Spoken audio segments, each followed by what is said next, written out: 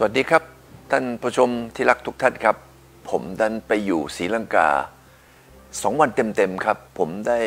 รู้สึกได้เข้าใจประเทศศรีลังกา ได้เยอะเลยทีเดียว ได้พบปะเจอเจอผู้คนที่เป็นชาวต่างประเทศนะครับ ที่เขามาพูดเรื่องของ เศรษฐกิจที่จะพัฒนาโดยองค์กรของ UN ก็คือ International Trade Center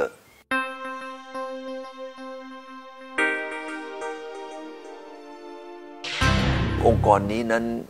UN เป็นผู้อยู่เบื้องหลัง เป็นผู้ที่สนับสนุน เป็นผู้ที่จะนำไปสู่การช่วยประเทศที่กำลังพัฒนา นั้นสามารถได้ทำเรื่องการค้าการลงทุน และสามารถที่จะก่อสร้างเศรษฐกิจของตัวเองขึ้นมา ฉะนั้น International Trade Center นั้นถือว่าเป็นผู้ที่อยู่ในการขับเคลื่อนการสัมมนาครั้งนี้ International Trade Center นั้นก็มีหน่วยงานที่ทำอยู่ในประเทศไทย แต่อาจจะคนไทยไม่ได้เข้าใจนะครับว่า UN หรือสหประชาชาตินั้นช่วยเหลือประเทศไทยอย่างไร ในช่วงหลายสิบปีที่ผ่านมา วันนี้เช่นเดียวกันครับ ที่ศรีลังกาซึ่งถือว่าเป็นประเทศที่มีประชากรแค่ 20 ล้านคน แต่มีขนาดของเศรษฐกิจนั้นเพียง 80,000 ล้านเหรียญเท่านั้นเอง ฉะนั้นขนาดของเศรษฐกิจของศรีลังกานั้น ถือว่าไม่ใหญ่ครับ เมื่อเปรียบเทียบกับประเทศไทยนั้น เล็กกว่าประเทศไทยถึงประมาณ 5 เท่าเลยทีเดียว ในขณะที่ประชากรของเขานั้น น้อยกว่าประเทศไทย 3 เท่า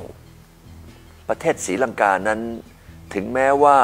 เขานั้นจะเป็นประเทศเล็กๆ แต่สิ่งหนึ่งที่ศรีลังกานั้นมีชื่อเสียงมาก ก็คือใบชาซีลอนนั่นเองซีลอนนั้นก็เป็นฐานที่การผลิตชาของโลกเลยทีเดียว เพราะว่าชานั้นเหมาะสม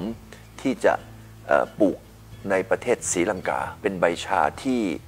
ชาวอังกฤษนั้นเข้าไปพัฒนาครับ จนกลายเป็นซองชาที่เราเห็น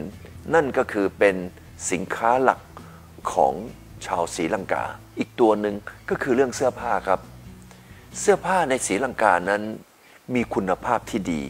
เพราะว่าชาวศรีลังกานั้นมีฝีมือในการเย็บปักถักร้อย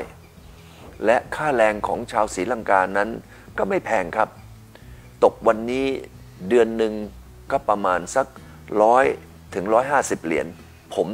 ได้มีโอกาสได้พูดคุย แล้วก็ได้สนทนากับผู้ใหญ่ของศรีลังกานะครับ ทุกคนที่ผมได้พบปะนั้นมีโอกาสเดินทางมาเที่ยวประเทศไทยกันทั้งสิ้น ฉะนั้นการที่ผมได้ขึ้นไปบนฟลอร์ไปพูดเรื่องเกี่ยวกับการพัฒนาเศรษฐกิจของประเทศไทยนั้น เขาคุ้นเคยครับ แล้วเขายอมรับ วันนี้เรามีโรงแรมหลาย ๆ โรงแรมของประเทศไทยนะครับ ที่ไปลงทุนในประเทศศรีลังกา เพราะว่าประเทศศรีลังกานั้น เป็นเกาะที่ใหญ่ที่สุดในมหาสมุทรอินเดีย เราคงต้องไปคุยกันต่อแล้วครับว่า สิ่งที่ศรีลังกามีอยู่นั้น ประเทศไทยจะนำไปใช้ประโยชน์ได้อย่างไรในอนาคต ขอบพระคุณทุกท่านครับ สวัสดีครับ